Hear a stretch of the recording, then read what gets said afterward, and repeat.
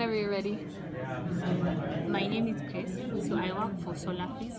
We are uh, innovation that we are able to provide cold storage unit for, for farmers to reduce their post harvest.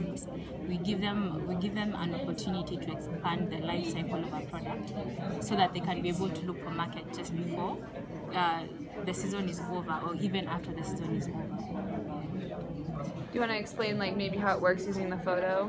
So it's pretty simple. So we have we have a storage unit. It's solar powered, and then it has the air fans turbine, just controlling the temperature within the air.